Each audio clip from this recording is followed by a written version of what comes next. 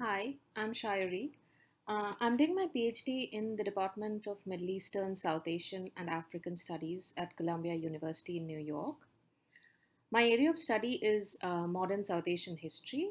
I'll talk about some of the steps involved in applying to graduate school in the US based on my experience and on advice I had received in turn from others when I was applying. On the question of choosing which programs to apply to, I would definitely recommend not going by the name of the university. A university in the US might be renowned for one or two of its schools, but that does not imply the program you will apply to will be of the same caliber. So I think it is far wiser to base your choice on specific departments and the programs you'll be applying to and their standards and reputation than those of the universities.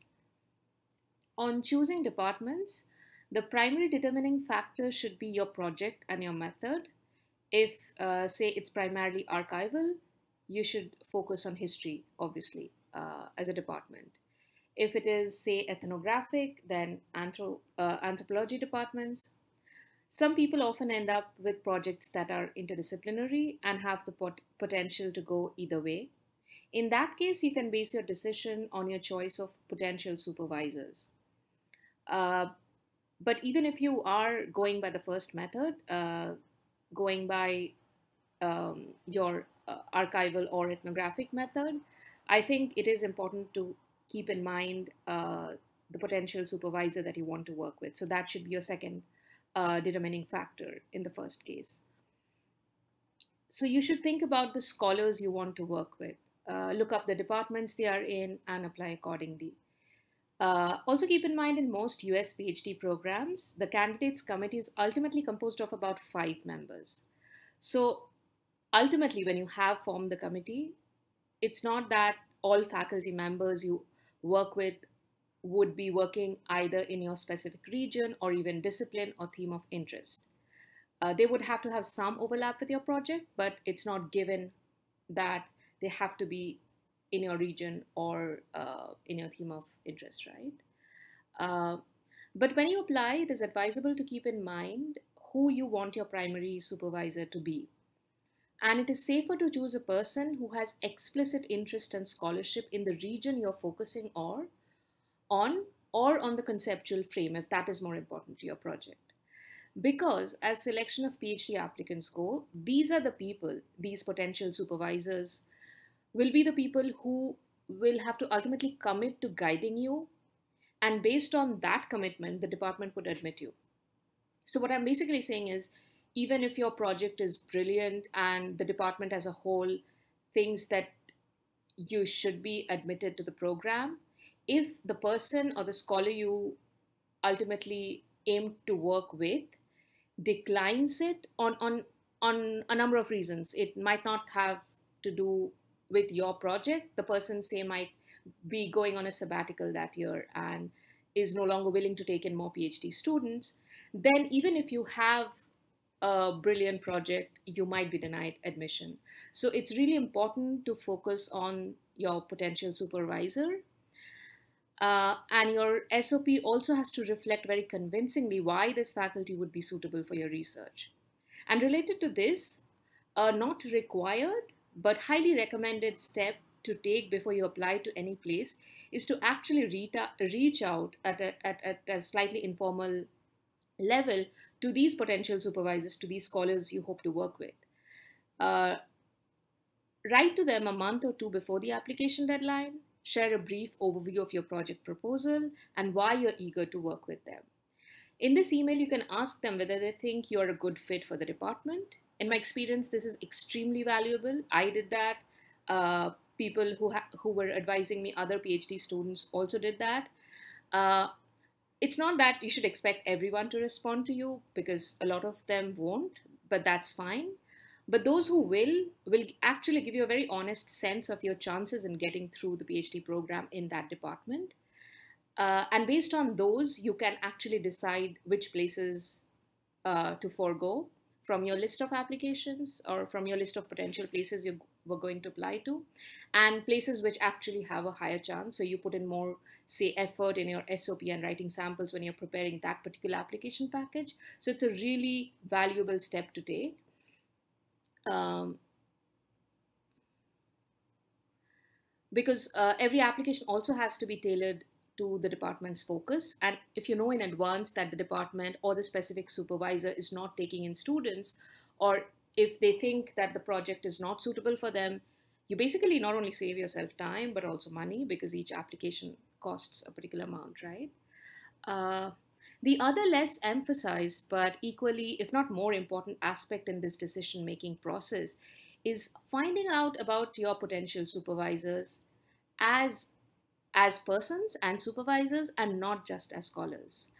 Uh, and I think often in the frenzy of applying for a PhD, people tend to overlook the fact that you'll be spending five to seven years of your life working very closely with your supervisors. It is important to be aware, therefore, in advance if your potential supervisor has not just has not just produced academically successful students, but students who have been happy working with them or have no significant grievances against them. I appreciate this might not be an easy task, but make sure as much as possible that the faculty member you want to work with has students who feel encouraged to pursue research under their guidance and feel comfortable working with them. Coming to the next step, which is preparing your application file. Uh, so this email that I, I, I, mentioned, you would be writing that if you want to, you would be writing that uh, a month or two uh, before the deadline. And then accordingly, you would also start preparing your application file. Uh, so some of the com components of that would be the SOP, the writing sample, and the GRE. And I'll talk briefly about all three of them. Um, coming to the SOP, uh, this might almost be common sense actually, but it wouldn't hurt underlining that it's best to approach the SOP in terms of the different sections rather than trying to sit and write the whole thing at one go. So first identify the sections that need to go into the SOP and work on each separately. So do your research, write each paragraph or section, however long each of these would be, revise them, um, incorporate feedback, um, and keep polishing each of these sections differently. And as you apply for each program, you can put these sections together depending on the word limit for one, it is this, this process of approaching it by sections rather than as the SOP as a whole is, it is a, I think it is a far less daunting task than trying to compose it uh, entirely together from the very first draft. And two, it also helps you refine and actually pay equal attention to the sections individually. Your project and specifically the question you wish to pursue has to be, of course, included. But you also have to give a sense of, say, the sources and methods which will enable you to answer that research question. And finally, a section on uh, what, what makes you, your past training, your past interests, your past research. All of these make you, or at least you have to make the case convincingly that all of these make you a fit candidate to pursue that research successfully. Uh, and finally, a section on why you think that particular department is best suited for you to do that research. And here you might mention the courses the department offers and the research some of the faculty do and how that would influence your project. You have to, of course, tailor especially this last section about department fit according to each program you're applying to. The other important component of the application is the writing sample. The first priority, in my opinion, should be to choose something that demonstrates your best scholarly writing. The content or topic of the paper is much less important. Then, if you have, say, more than one option, you can decide to choose an archival research based piece for a history department or a literary analysis piece for a literature department, and so on.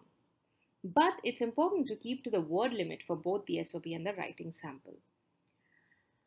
For the GRE, and this is the final component that I'll be talking about, I understand it might be a source of anxiety for all applicants. There is really not much to say other than, of course, do your best. Higher the score, better the chances. But also, having said that, I would say that if you do end up with uh, with an unsatisfactory score on the quantitative section, it does not make a huge difference in a humanities and social science program. The score is more often than not a cutoff for graduate schools to approve the department's selection of candidates. So a low score in itself might not matter. But of course, if there are two applicants with with the equally um, with equal academic caliber, the GRE might become the final determining factor. I know this is not great to hear, but all this is to say that you have to do your best for the GRE. But once done, if the scores are low, it does not mean you don't have a good chance of getting through a PhD program if the other components of your application are outstanding. So don't give up, keep at it. That will be all from me today. All the best with your applications.